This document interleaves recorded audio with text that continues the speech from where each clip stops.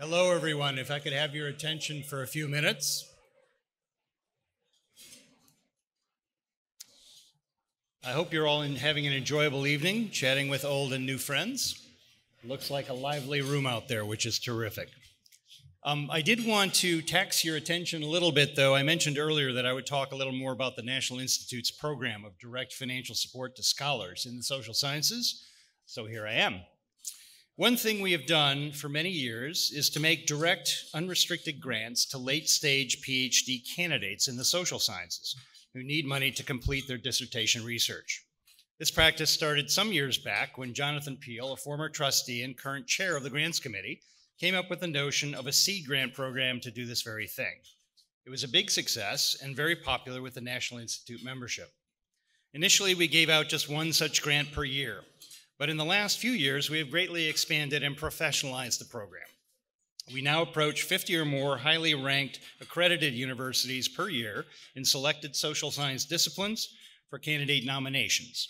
And from one winner each in 2020 and prior years, we have expanded our grant activity to two grants in 2021 and five each this year and last.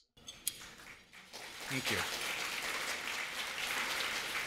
These grants are substantial, unrestricted amounts designed to help highly qualified PhD candidates pursue their dissertations in topics that promise to add substantially to their scholarly fields. All grant proposals are reviewed and evaluated by the volunteer members of the National Institute Grants Committee, and all are funded by the generous donations of our members and trustees, as well as the general public. Newly rechristened the Dissertation Grant Program, this activity is our flagship grant making initiative, and we are looking forward to continuing it and expanding it in the future. As I mentioned, this year we awarded the five dissertation grants to late stage PhD scholars. If you're interested, I encourage you to visit our website or, in fact, the brochure, the uh, blue book, as we call it, on your chair, um, which describes our most recent grant winners and the work that they're doing. Suffice it to say that we have a doctoral candidate in sociology from the University of Notre Dame, a doctoral candidate in psychological and brain sciences at the University of California, Santa Barbara, a doctoral candidate in history at Brown University, a doctoral candidate in psychology at the University of Texas at Austin, and a doctoral candidate in African history at Emory University. It's quite an impressive bunch. The dissertation grant winners, thank you. The dissertation grant winners are living examples of the direct support the Institute provides to effect our mission to support and encourage the study of the social sciences. Over the life of the program, the National Institute has given approximately $125,000 in direct unrestricted grants to these worthy scholars, some of whom may very well become gold medal honorees themselves in the future. We can only hope.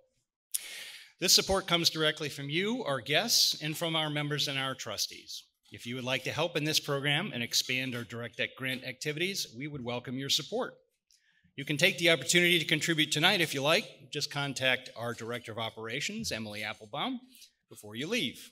You can donate to the grants program to help fund the general operations of the National Institute that bring you galas like this one, or even become a member. I have, hear rumors that we have some very beautiful enameled pins available for members who sign on at the sustaining member level or above. Just know that all of us and the many future dissertation grant winners to come thank you all mightily for your generosity. Tonight, I'm pleased to announce that many of you have already given to the program by designating a portion of your ticket price toward the grants program when you bought them. So far, we have raised almost $15,000 to be put toward our grant making activities at this dinner alone. Thank you. We thank you from the bottom of our hearts for supporting this very important part of our mission. And now I'll let you get to dessert. I'll be back.